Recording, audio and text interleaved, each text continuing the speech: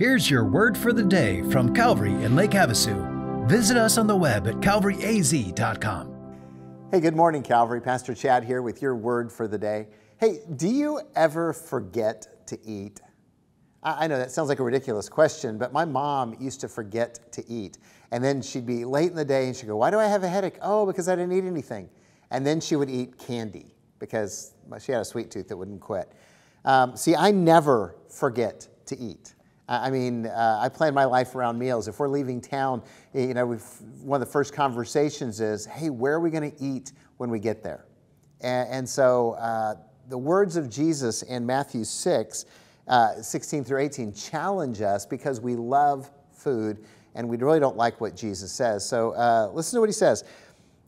And when you fast, do not look gloomy like the hypocrites, for they disfigure their faces that their fasting may be seen by others. Truly, I say to you, they have received their reward.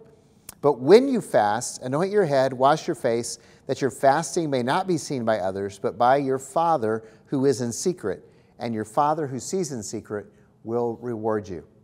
Now, just a couple of things. If you don't know what fasting is, it means that you don't eat. You go without food uh, and you do it as a spiritual discipline. And, and that's the first thing I'd tell you about fasting. Fasting is a spiritual discipline that is like prayer and giving. It's something that Jesus expects us to do. Notice he says, when you fast, not if you fast. And, and I say that because I was raised in a church that said, oh, we don't have to fast. That's an Old Testament thing. And I'm like, no, when I read the Bible, it's Jesus saying, when you fast. He's talking to his disciples. So when we fast, it's for a purpose. So uh, it's for God's people. And, uh, and, and he tells us this. He says, first of all, when you do it, don't draw attention to yourself. Don't use it to try and look holy or spiritual in front of other people. That's what the Pharisees did. He calls them hypocrites because they, they gave money publicly so people could laud them for their generosity. They prayed publicly so people would know how spiritual they were. And when they fasted, they made themselves look like they were suffering uh, because they were going on and on about how spiritual they were. And Jesus says, No, this is between you and God. You need to go ahead and do this secretly so nobody really knows. Just like you give secretly and you pray secretly, you fast secretly.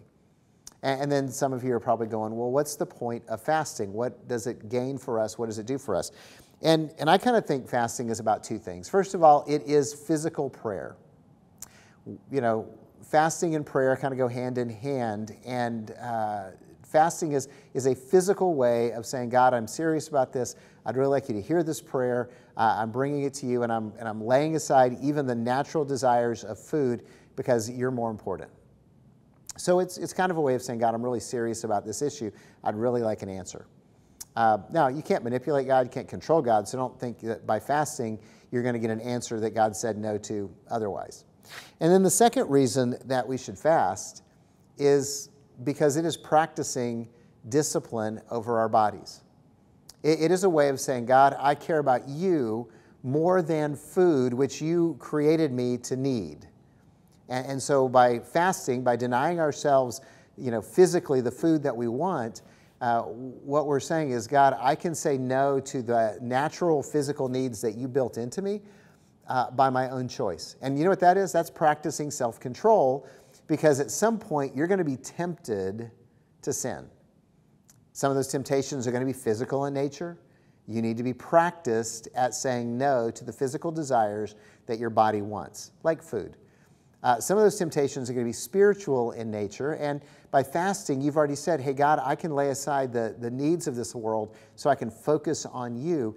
And it prepares us to fight against those temptations that come our way. Uh, if you struggle with uh, overcoming a recurring temptation in your life, recurring sin in your life, then maybe you should try fasting and say, God, I want to overcome this, and this is the way I'm going to practice doing that. So, uh, can I just encourage you to maybe one day this week try fasting?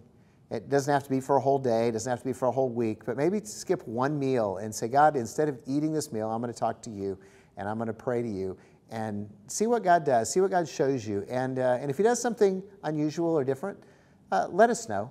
Just comment on this or email us and tell us how God is teaching you uh, about fasting. God bless, and I hope that helps.